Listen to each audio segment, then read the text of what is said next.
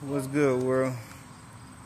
I just thought I'd show y'all these people who uh, made investments